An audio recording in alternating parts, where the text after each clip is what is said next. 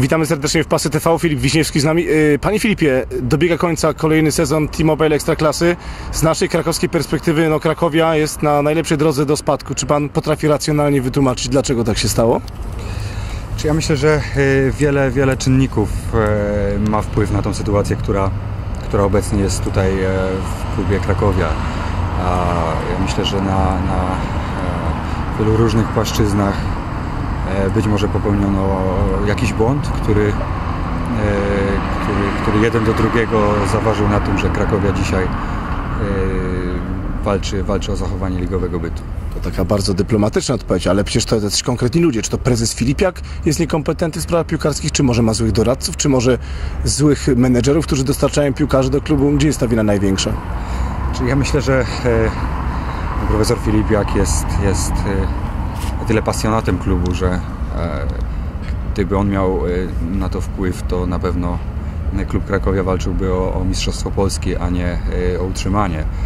Mm, Ja powiem tak, ja nie znam, nie znam dokładnie też specyfiki mm, funkcjonowania na co dzień klubu i, i trudno jest to ocenić, jakimi ludźmi mm, tak naprawdę otacza się pan profesor Filipiak, ale myślę, że pewien rachunek sumienia, który, który każdy będzie musiał zrobić e, na koniec sezonu, bez względu na to, czy Krakowia się utrzyma, czy nie, mm, będzie oczywistą oczywistością. Yy, Gdy pan jako specjalista od sprzedawania i kupowania piłkarzy patrzy na drużynę, w której składzie jest Suworow, Sajdi, Wiśniakow, Skaczmarek, Radomski, no to teoretycznie taki zespół nie powinien walczyć o utrzymanie BA. Nie powinien spadać z ligi, bo chyba już mówimy o takim momencie, że tak naprawdę niewiele może Krakowi pomóc. Krakowia personalnie, y, personalnie y, patrząc na nazwiska, tak, y, ma zawodników, którzy powinni zagwarantować klubowi walkę o na pewno górne rejony tabeli. E, tak jak, tak jak Pan powiedział, tak? Suworow, Wiśniakow, Saidi, Stewart i, i, jeszcze kilku, kilku innych zawodników, to, to są piłkarze, którzy na pewno znaczą, znaczą wiele tak? dla zespołu i na pewno znaczyliby wiele dla, dla, dla, dla każdego zespołu, w którym by grali i, i, i mogliby grać. No to co się stało? Tak jak powiedziałem wcześniej, tak? ja myślę, że e, e, jakby gdzieś e, małe, małe błędy w różnych częściach i dziedzinach funkcjonowania e, klubu, których, których tak naprawdę nie mnie oceniać, tak? bo, bo e, są od tego osoby odpowiedzialne. Ja jedynie jako baczny obserwator tego, co się dzieje, mogę ubolewać, że klub z takimi tradycjami, klub z e, takimi zawodnikami, tak? jak e, przed chwilą wspomniałem, czy, czy, czy Pan wymienił, e, właśnie, właśnie o, o, o unik, e, uniknięcie tej degradacji e, jeszcze walczy. Ale pan jako człowiek, który bardzo mocno siedzi na tym rynku piłkarskim, kupiłby kogoś z tej trans Krakowi? Czy ci piłkarze w ogóle w tym momencie są w cenie? Jest jakiś popyt na tego typu graczy, którzy właśnie z drużyną są na ostatnim miejscu w lidze? Wie pan, to jest, e, to jest tak, że w drużynie są gracze, którzy na pewno e, e, będą chcieli za wszelką cenę zostać w klubie i, i, i wiedząc, że kontrakt, kontrakty, które mają podpisane są, są jak na dzisiejsze realia i warunki kontraktami bardzo dobrymi. Tak? Są, jest grupa piłkarzy, która na pewno będzie, będzie, będzie wyznaczona, że tak powiem, do, do, do, do rozwiązania kontraktów z klubem. Jest też grupa zawodników, która jest e, bacznie obserwowana przez e, inne kluby, które, które też e, czekają na okazję taką, jak to nieraz bywało w przeszłości, że klub, który spadał z ligi, został rozkupywany przez, przez mocniejsze zespoły, które mogły zaoferować zawodnikom i lepsze kontrakty i też walkę mm, o, o wyższe cele niż, niż pierwsza liga Ale czy można i warto kupować piłkarzy, którzy zdobyli zaledwie 21 punktów w rozgrywkach? Czy ich kupienie to nie będzie kolejna pomyłka nowego pracodawcy? Wie pan, tak jak e, wymieniliśmy te, te, te, te nazwiska, tak? I, i, i, na pewno tutaj kilku zawodników e, jest takich, którzy wkomponowani odpowiednio w zespół e, mogą znaczyć dla niego wiele, tak? I, nie jest tajemnicą, że, że, że Seydin Tibazon-Kiza, tak? Aleksiej Wiśniakow, Suworow, e, Kaczmarek, Suart Radomski m, to są piłkarze, którzy e, odpowiednio wstawieni do, do, do zespołu z odpowiednią rolą, e, e, dobrze dobraną poszczególnie dla każdego z nich. Mogliby pomóc jednemu zespołowi i to nie tylko takiemu, który, który, który skazany jest na walkę o utrzymanie w Ekstraklasie. Z tego co rozumiem, to znaczy, że w innej konstelacji, w innym zespole ci gracze mogliby stanowić zupełnie inną jakość, tak? Ja myślę, że zawsze tak jest, że, że e, idąc do zespołu lepszego, tak? do zespołu, który, który e, e jest wyżej w tabeli, gra nie wiem, w europejskich pucharach, e, e, dany zawodnik może wykrzesać siebie e, jeszcze więcej, tak? mając odpowiednich partnerów na boisku, mając odpowiednich, mm, odpowiednie wyższe też pewne aspekty szkoleniowe, tak? może, może to decydować o, o, o, wyższej formie niż w klubie z dołu tabeli. Pan jeździ cały czas y, po Polsce, spotykamy się w Krakowie, jest Pan w kolejnej podróży, więc ja muszę to zapytać, bo Pan ten, y, tak jak mówię, no, ma ogląd sytuacji. Czy na przykład wybór Tomasza Kawarskiego na trenera Krakowi w tak trudnym momencie to był dobry trener, czy w przypadku spadku Krakowi z Ekstraklasy to będzie trener na powrót do Ekstraklasy drużyny?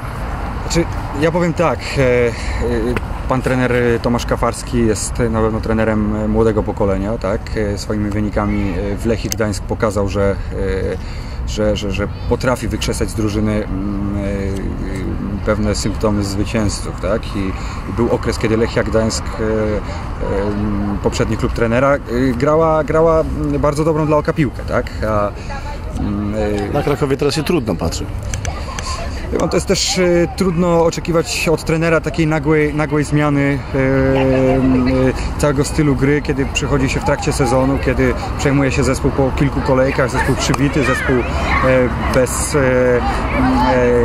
takich moralnej jakby siły do, do walki, tak? I jakby wracając do Pana pytania, czy trener Kafarski jest odpowiednią osobą, to już ci, co, ci, co go e, zatrudniali, na pewno, e, na pewno będą wiedzieli mm, i, odpowiednio rozliczą trenera e, z wyznaczonych mu celów w tej ekstraklasie dużo się ostatnio zmieniało trenerów, też yy, zmieniały drużyny o wiele lepiej sytuowane w tabeli niż Krakowia, choćby Lech Poznań. Yy, z tego co wiem, to pan współpracował z José Marie Bakerą. To znaczy, yy, współpracował to może duże słowo, natomiast e, bez wątpienia tak, mieliśmy pewne e, bliższe, bliższe relacje i, i, i, w pewnych aspektach e, też wiele rozmawialiśmy na temat, na temat polskiej ligi, sytuacji zawodników i tak. No i pod Rumakiem teraz Lech trochę pogalopował do przodu.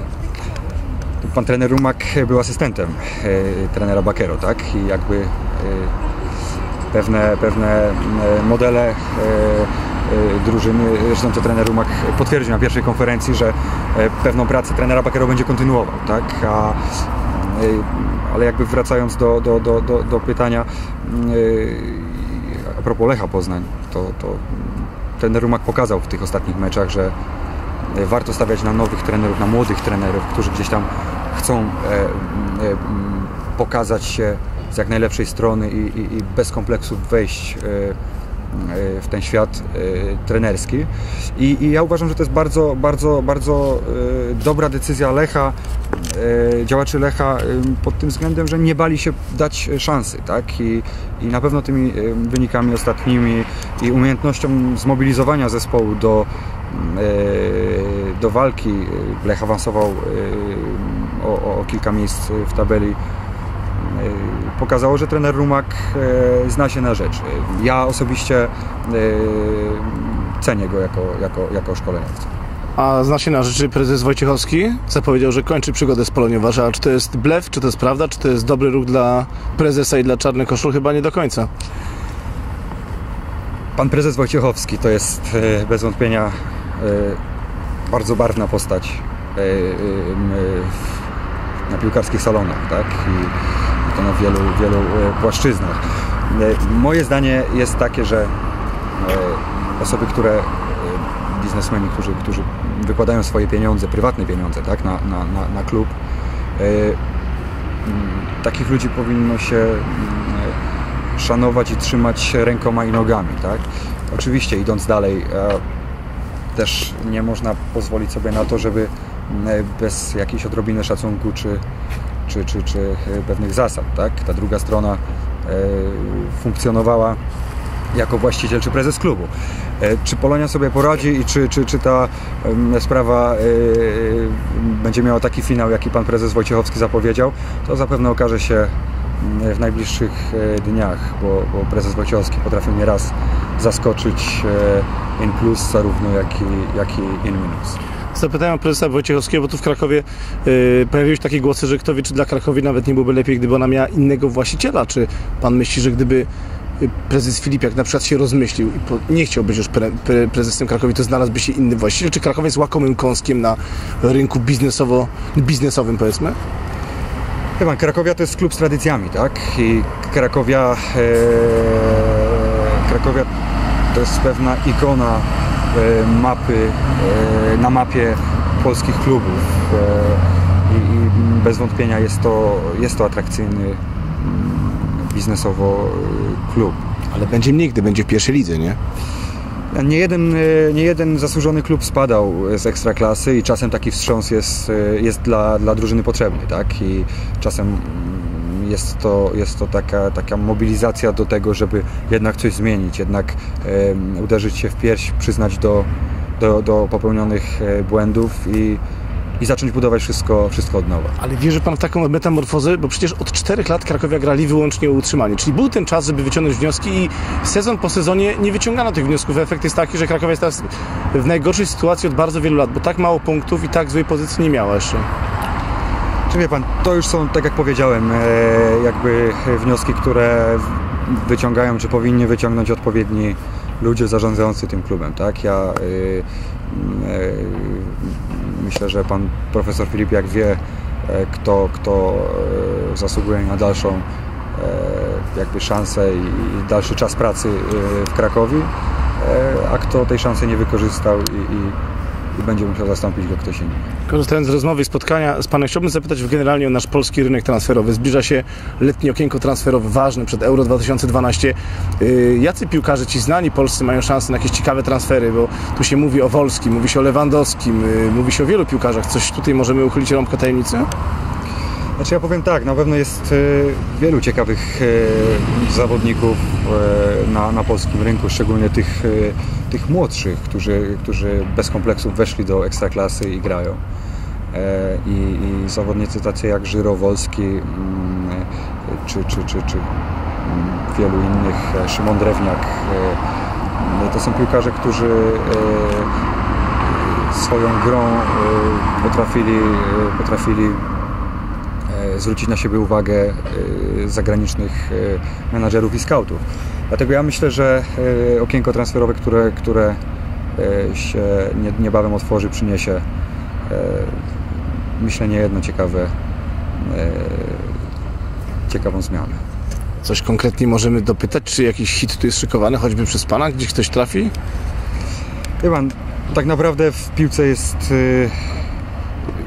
dopiero dokonany transfer, kiedy są podpisane dokumenty, tak? I jakby zainteresowania mm, zarówno piłkarzami, e, e, których ja reprezentuję, jak i tymi, których reprezentuje mój partner Cezary Kucharski. E, ja myślę, ja powiem tak. A to ja muszę dopytać, partner Cezary Kucharski, czyli innymi słowy menedżer Roberta Lewandowskiego. Tak, tak, tak. No to tak. ja od razu muszę zapytać, czy zatem y, mistrz Niemiec Robert Lewandowski dalej będzie grać w Borussii Dortmund? Chyba co, ja nie, nie, nie będę wypowiadał się na temat e, zawodników, których e, Czarek reprezentuje, tak? Ja jedyne, jedynie co mogę powiedzieć to, to, to to, że na pewno e, jego, czy, czy w kilku przypadkach nasza wspólna praca e, będziemy się starali, robili wszystko, żeby z każdym zawodnikiem e, taką drogę obrać, jak, jak ten modelowy przykład współpracy e, na linii piłkarz-menadżer, e, czyli Lewandowski-Kucharski. Gdy mówimy o reprezentacjach, o reprezentacji Polski, bo Lewandowski jest jej integralną częścią i bardzo ważnym zawodnikiem, to jak Pan się zapatruje na te informacje medialne i na linii Smuda, Peszko, Smuda, Wasilewski? Wcześniej Smuda Żewłakow i wcześniej Smuda E, Artur Borys. Czy ja powiem tak, e, bezwzględnie zaczynając od końca, tak? E, Michał Żewłakow e, pokazał swoją formą prezentowaną w barwach, w barwach Legii, że nadal jest czołowym obrońcą. E, I, I moje osobiste zdanie jest takie, że to miejsce w kadrze bezwzględnie mu się należało i to nie za żadne zasługi, tak? tylko, tylko poprzez formę, którą prezentuje. Artur Boruc, najlepszy polski bramkarz w tej chwili, pokazuje to co tydzień na boiskach Serie. E, Sławek Peszko e, i, Marcin Wasilewski, ostatnia sytuacja, której, której, o której pisały e, media w Polsce i, za granicą. No, każdy popełnia błędy, tak? I, i, nie myślę, że, że spotkała, spotkała Sławka szczególnie zbyt surowa kara za, za coś, co tak naprawdę jest częścią funkcjonowania każdego każdego z nas. Oczywiście, że, że, że ta sytuacja mm, e, pojawiła się w mediach, tak? Sławek, reprezentant Polski, piłkarz FC Köln. E, natomiast myślę, że, że, że każdy w życiu ma prawo do, do błędu i, i, na, pewno, na pewno Peszko przydałby się tej reprezentacji. I tak jeszcze dwa pytania pod koniec o Krakowi, no bo o tym przede wszystkim rozmawiamy. Yy, szczerze, Krakowia spadnie czy się utrzyma?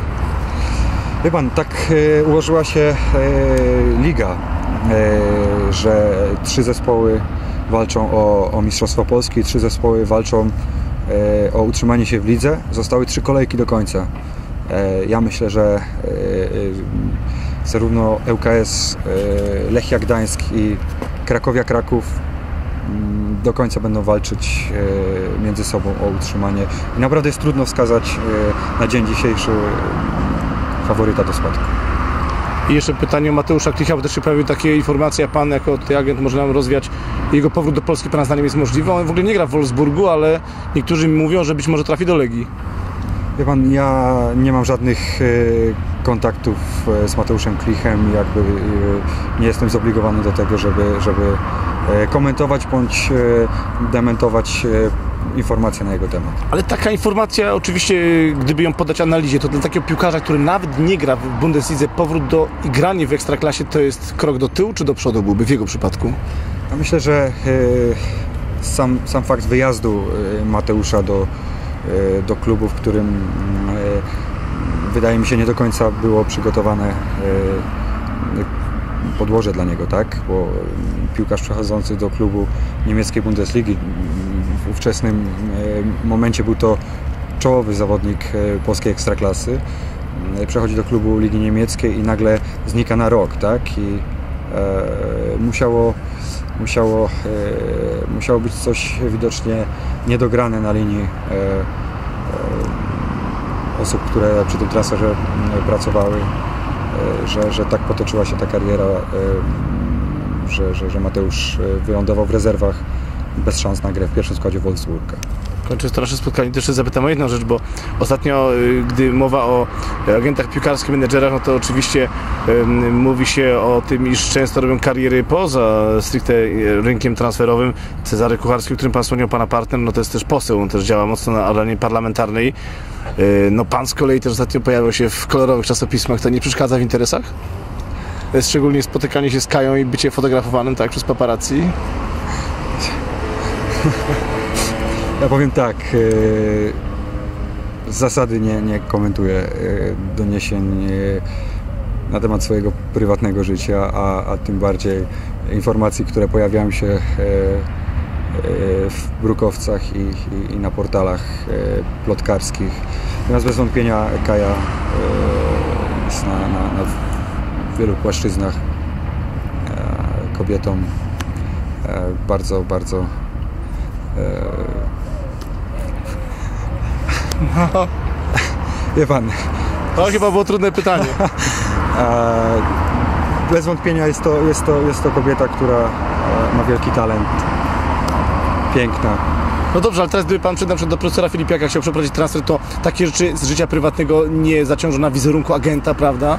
Chyba ja myślę, że każdego, e, każdego indywidualną sprawą jest e, e, życie prywatne, tak? I, i, i E, wie pan, czasem nie ma wpływu na to, co, co piszą e, gazety, tym bardziej, tak jak wspomniałem, e, te, które w ostatnich e, dniach opisywały wspomnianą przez Pana sytuację.